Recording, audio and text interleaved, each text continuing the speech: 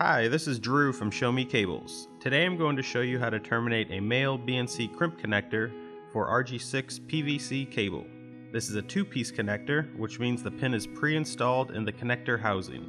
The only other piece is the ferrule. For today's project, we're going to need an RG6 PVC cable, a male BNC crimp connector, a coax stripper, and a crimp tool. To begin, take your coax stripper and remove the outer jacket and dielectric of the cable. The advantage of using a coax stripping tool is that it cuts both the outer jacket and dielectric at the same time. Rotate the tool a few times around the outside of the cable and peel the jacket off. Using your hands, fold back the braided shield on top of the jacket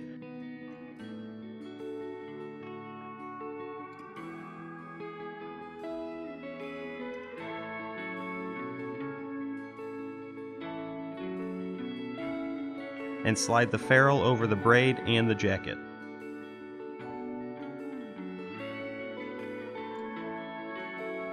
Next, take the BNC male connector housing and slide it all the way down until it's against the jacket. Slide the ferrule back over the jacket, making sure it folds the braid onto the connector.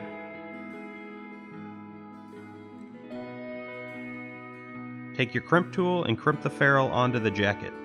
This will create a secure connection.